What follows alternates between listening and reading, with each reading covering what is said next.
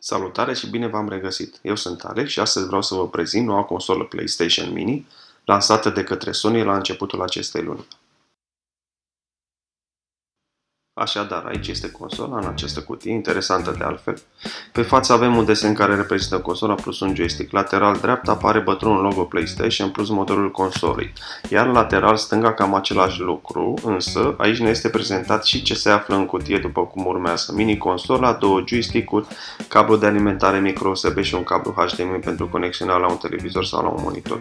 Pe spatele cutiei sunt prezentate câteva informații plus lista celor 20 de jocuri pe care consola le are în dotare. Din păcate nu sunt jocuri de top, însă, din fericire, această consolă poate fi modată și pot fi adăugate câte jocuri dorim. Haideți să o desfacem să vedem exact ce se află în cutie.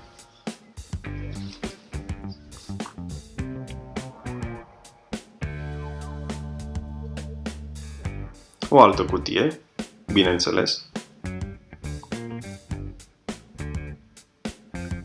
Manualul de utilizare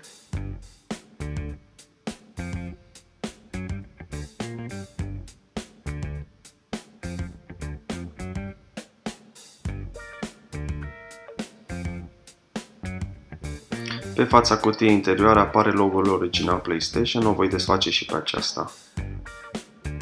Cu siguranță vom avea încă o cutie. Mi-aduc aminte prin anul 1996 mi-a cumpărat prima consolă PlayStation la care am primit o CD cu ceva jocuri demo. Din câte îmi amintesc, acel CD conținea Tekken 2, Wipeout, Die Hard Trilogy și încă câteva. Am fost fascinat de jocul Die Hard și abia aștept să joc pe această mini consolă.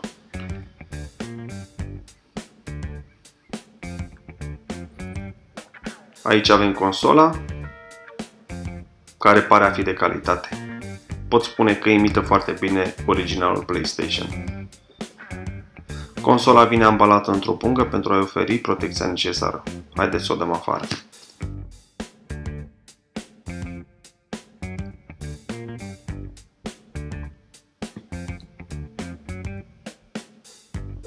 Butoanele sunt funcționale, Open Case care va fi util la schimbarea discurilor, Power Button și Reset Button pentru a reveni la meniul cu jocuri.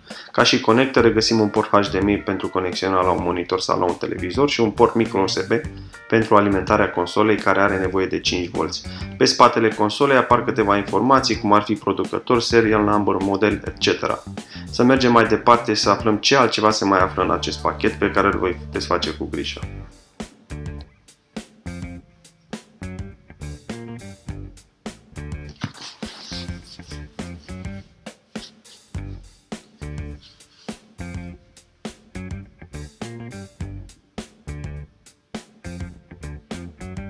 Așadar, în cutie se mai află două joystick-uri care, după părerea mea, imită foarte bine originalul.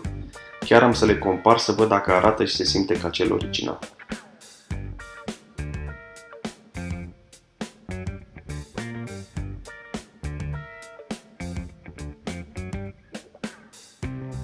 Butoanele se simt bine,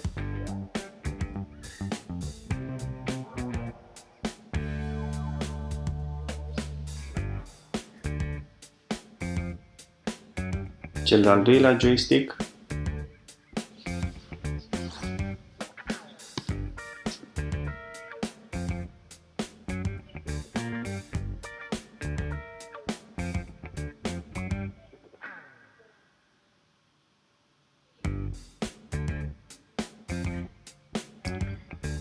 Cablu HDMI și un cablu micro USB pentru alimentarea consolei. Producătorul recomandă o sursă care oferă 5V cu 1 A. Acum voi pune cutiile mai mici în cutiile mai mari pentru că vreau să păstrez această cutie, chiar îmi place. Iar după aceea voi trece la modarea consolei plus că voi adăuga câteva jocuri. Pentru modare vom avea nevoie de un stick USB, de preferat mai mic de 32 de GB. Modarea funcționează și cu anumite modele de memorii mai mari de 32 de GB. Softul pentru modare se numește BlimpSync. Găsiți informații despre acesta căutând pe YouTube. Să vedem dacă modarea a reușit. Butează încă.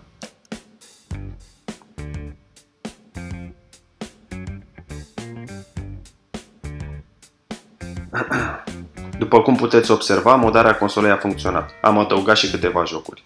Acum, nu rămâne de făcut decât să mă apuc de jucat și cu siguranță această consolă mă va duce înapoi în timp.